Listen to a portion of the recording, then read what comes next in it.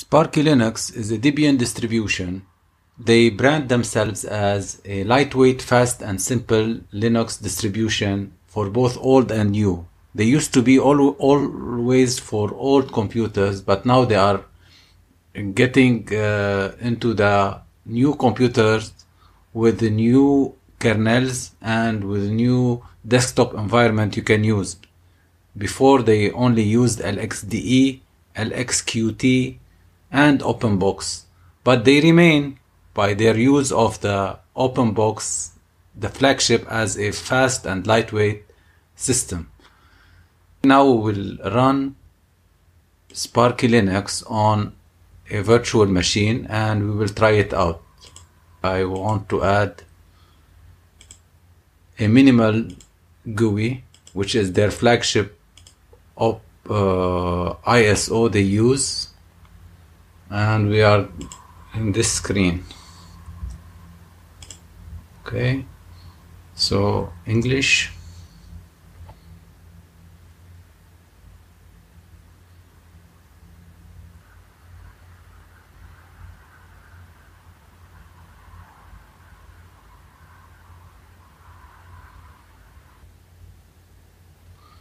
So let us install.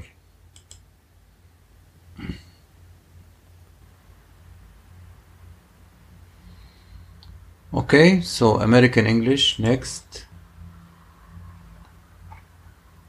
Okay, American New York next. Okay, we have only this one. Erase disk no swap you can encrypt the system and the bootloader is also in the same partition. Next. The name I'll put Sparky. Password. Password. Log in automatically. I don't like this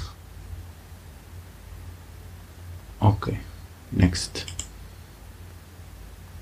So it gives us the information. Okay. Install. We let it install and we come back when it's finished. Okay so it's finished. Restart now. And done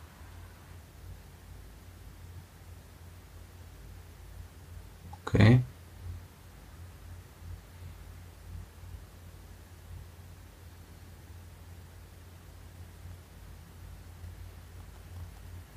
Okay. So the kernel is 5.15 which is relatively a new new kernel which is good news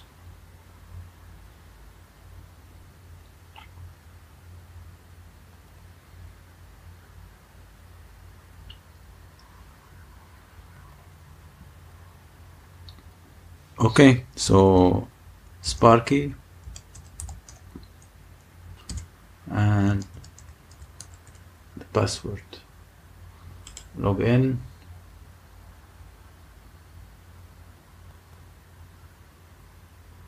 Okay. Let me fix the resolution. Okay so now we are back with the sparky uh, desktop if I want to change the wallpaper they have nitrogen installed. So let's go for nitrogen. Pick a new one. Take this one. Apply. It's no not a good resolution. Okay so now this is better so they have a good uh, amount of uh, wallpapers you can choose from. Looking at the menu here, the problem here is that when you open it, it's not like a menu, it is like a big screen where you can,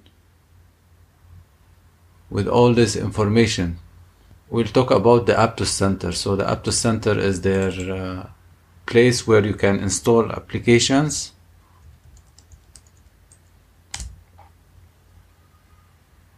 Let me cancel this one.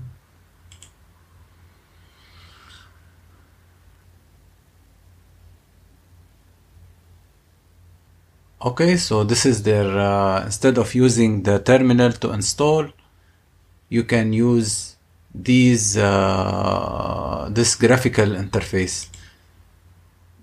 What I like about this one is this app center. Everything you can do, you can do through the terminal.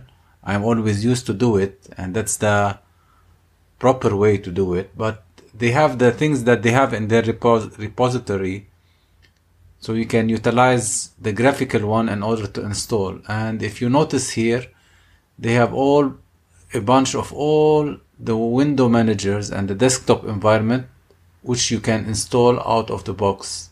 Directly you press it and you install it. And you can see here you have the Trinity which is difficult to install in many many distributions.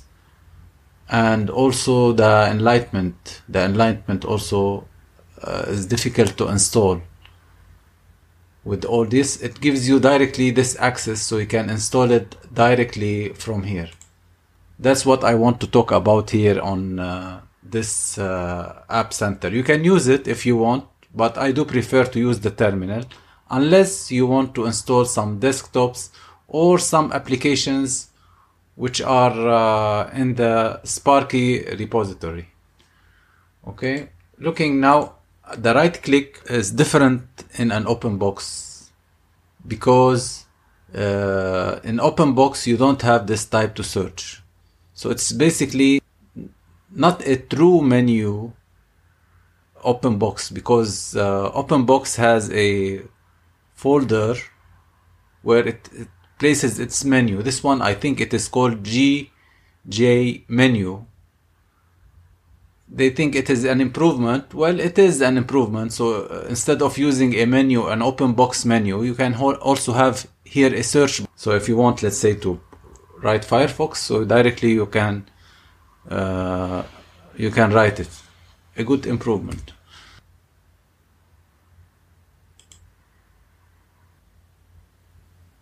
They have included here a VPN you can use. Oh, it's already here.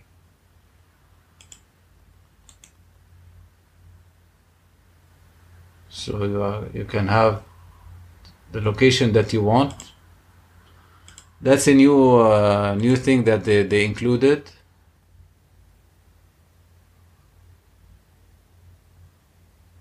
if you notice here they don't they don't include the LibreOffice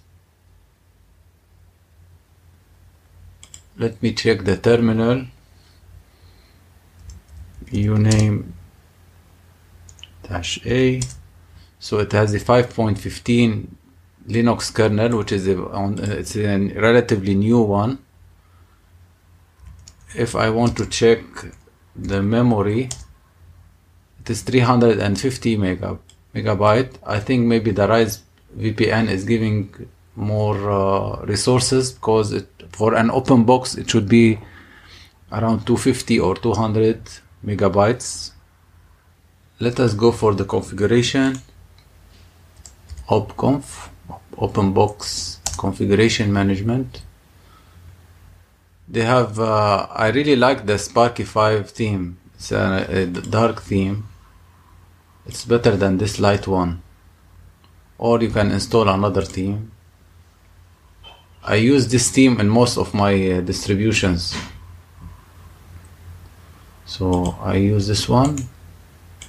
So if i let's say i open firefox.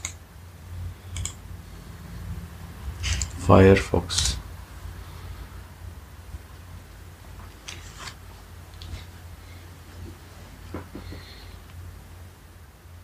okay. Customize toolbar. Manage themes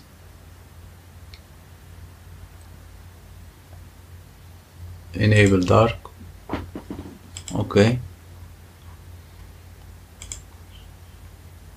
Okay so this is Firefox. Let us check which version they are right now also here they are using uh, they are not using the extended uh, software release ESR they are using the the latest one which is good good to know. They have this 95 version 95 which is the newest one. For system backup they have timeshift you can use timeshift they have included time timeshift so you can select the snapshot type that you want either Btrfs or rsync